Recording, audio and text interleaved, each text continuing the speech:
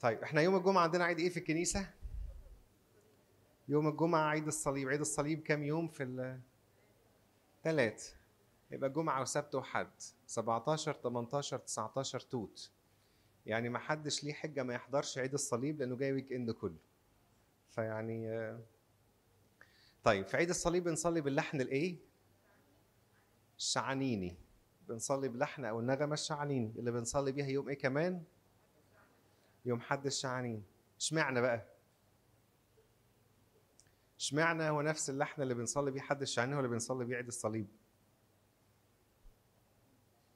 هو تأمل يعني تأملات يعني فالتأملات مفتوحة لل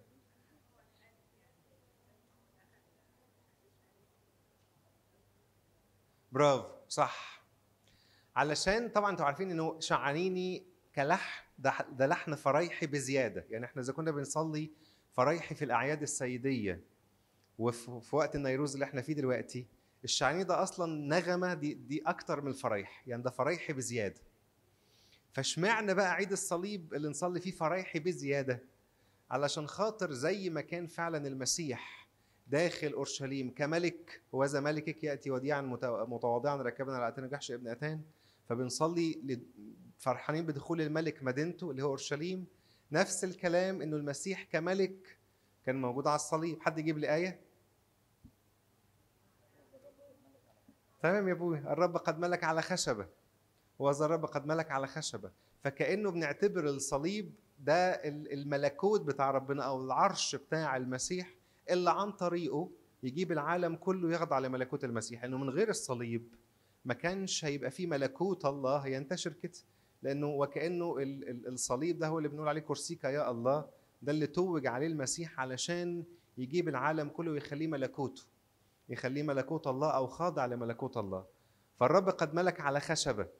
فنفس اللحن اللي بنستخدمه في دخول المسيح كملك أورشليم نستخدمه في إن المسيح هو اللي ملك على خشبة الصليب أو خلى خشبة الصليب اللي كانت رمز للعار وال والإهانة وكل حاجة صعبة تبقى هي رمز الملك ورمز علامة المملكة بتاعته. لما قال تظهر علامة ابن الإنسان في السماء ده رمز المملكة. زي مثلا رمز ال- التاج الإنجليزي مثلا هو الأسد. فرمز بقى مملكة المسيح هو الصليب. لأن بقى هو ده ال- العرش أو رمز المملكة. فنفس اللحن بتاع حد الشعانين يبقى هو بتاع عيد الصليب هو حد الشعانين. طيب تعالوا كده نقول مع بعض مرد الإنجيل اللي المفروض نقوله آه، في عيد الصليب جمعة وسبت وحد اللي هو باللحن الشعانيني اللي هو نفس وزن الجالس فوق الشاروبيم هو هو نفس اللحن بس بنقوله على مرد الإنجيل بتاع الصليب اللي هو من قبل صليبه وقيامته المقدسة رد الإنسان مرة أخرى إلى الفردوس. من قبل صليبه وقيامته المقدسة رد الإنسان مرة أخرى الفردوس هسأل سؤال قبل ما نقول المرض ولا يعرفوا ليه هديه معرفش هي إيه ومش دلوقتي. المرض ده بنقوله في كل قداس إمتى؟ في كل قداس. في إمتى؟ أصل هي صعبة. ده سؤال تريكي. إمتى في يوم الأحد؟ أيوه. أيوه. في إيه بقى؟ في حتة اسمها إيه؟ ماشي. بصوا صح. ليك نص الهدية اللي هي مش عارفها إيه برضه. بس يعني وابونا هو بيعمل دورة البخور سواء بتاعت عشية أو باكر أو دورة بخور البولس. هتلاقوا وهو راجع في في الطرقة الوسطانية في الكوريدور اللي في النص جه هو بيعدي عليها مرتين. مرة بعد ما يعدي عند الرجالة ويرجع في النص وبعد كده يجي عند السيدات ويروح راجع تاني في النص.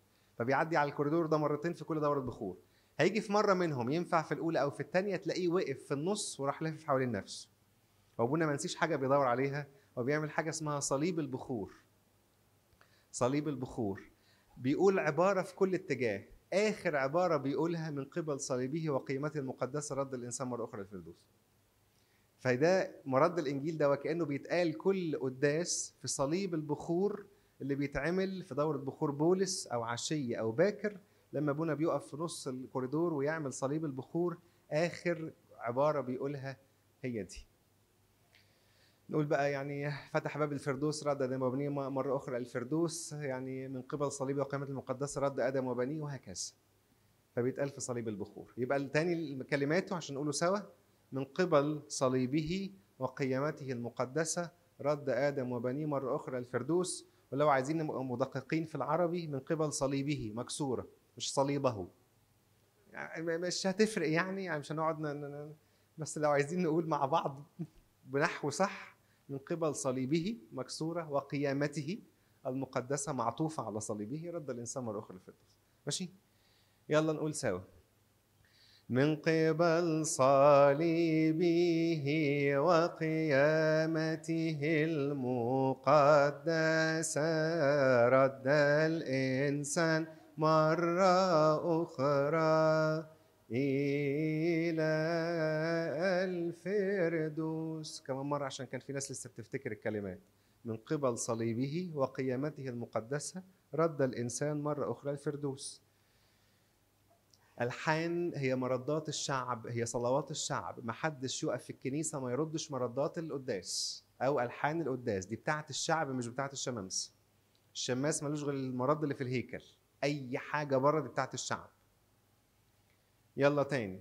من قبل صليبه وقيامته المقدس رد الإنسان مرة أخرى إلى